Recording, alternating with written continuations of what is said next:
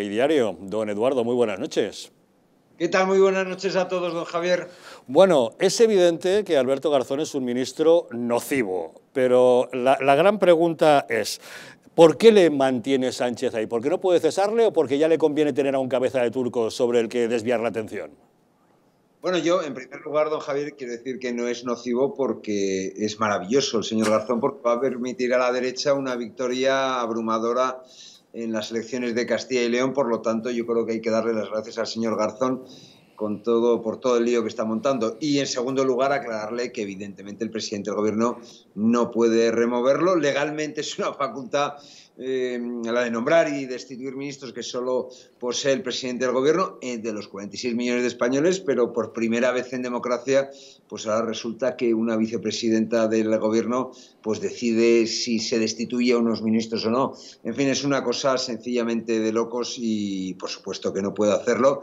Y el otro día el señor Garzón lo dijo eh, abiertamente y le dejó muy claro, chulescamente, que él va a continuar ahí hasta, hasta mm, diciembre del año 2023, si es que las elecciones eh, generales no se adelantan, que yo siempre he sostenido que se van a adelantar.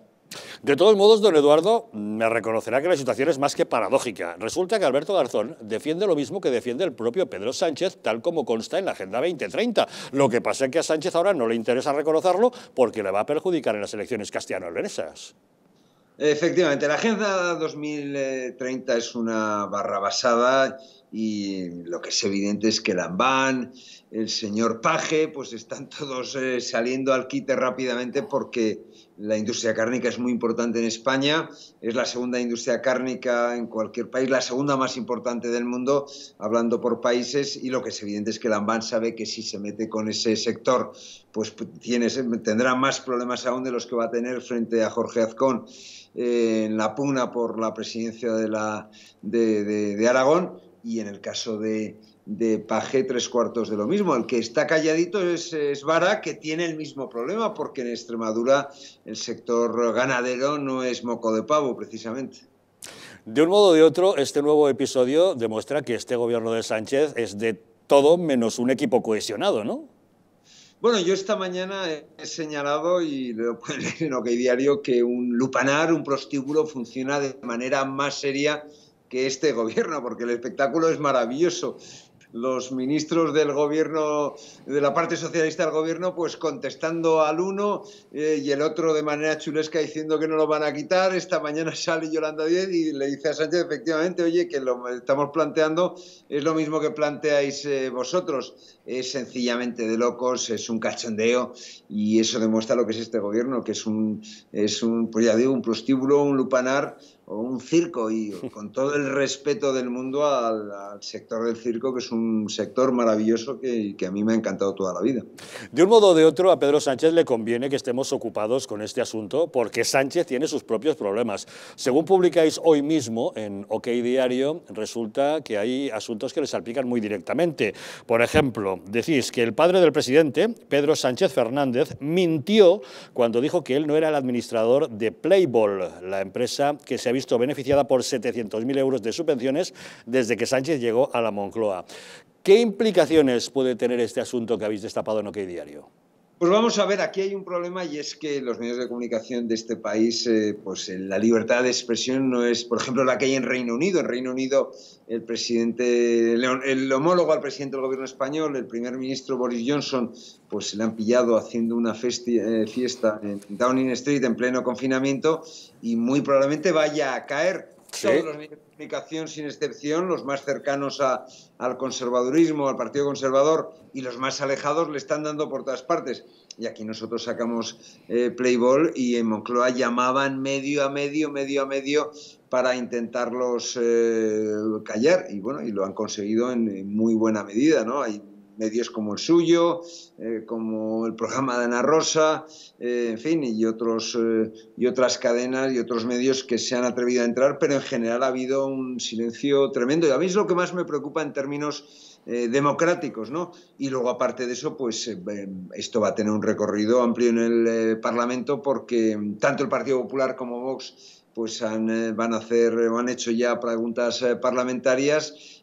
hoy ha salido Vox cuando hemos publicado los audios de la conversación que mantuvimos con el padre del presidente, con el padre y homónimo, y que además es igual de mentiroso que el hijo, el señor Sánchez Fernández, Pedro Sánchez Fernández y bueno, pues Vox ha, salido al quite y espero, pues insisto, que haya al menos eh, debate parlamentario acerca de, este asunto que no es moco de pavo, es decir, que le den en ayuda 700.000 euros a una empresa que factura millón y pico al año con una celeridad inusual y que ese dinero se lo dé el gobierno, pues eh, eh, al, al, padre del presidente del gobierno, pues es ciertamente llamativo, porque en el fondo lo que está haciendo Sánchez es ayudar a la empresa o al negocio que un día será suyo.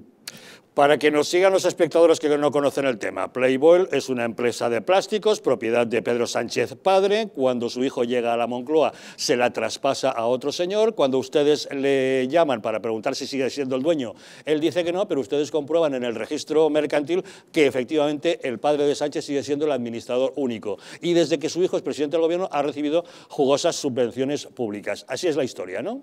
Efectivamente, lo que nosotros hicimos es llamarle y nosotros en ese momento, eh, indiciariamente en el registro eh, mercantil, el padre Sánchez eh, no aparecía, pero luego ya buceando en el registro mercantil vimos que sí seguía siendo el administrador único, el dueño de ese negocio y lo que hicieron simplemente fue traspasar ese negocio al cual el hijo le ha dado 700.000 euros en ayuda, eh, traspasárselo a un amiguete que casualmente es el hermano de una altísima cargo del gobierno de, de Pedro Sánchez. Y el señor eh, Sánchez Fernández, al igual que el hijo, es muy mentiroso y a nosotros nos dijo que ya no tenía nada que ver con esa empresa. Efectivamente, ya digo, indiciariamente en el registro mercantil así parecía, pero luego buceamos y efectivamente comprobamos, certificamos que Pedro Sánchez eh, Fernández es igual que su hijo, un auténtico mentiroso.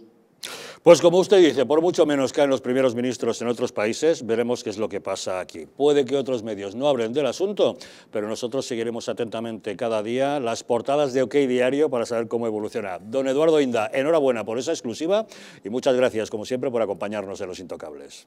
Gracias, don Javier. Un saludo. Hasta luego. Bueno, pues nada, aparte del tema Playboy, que ya veremos hasta dónde tal, sigamos con el tema de las granjas. Si le parece, le interrumpía a usted, don Fernando, antes. no,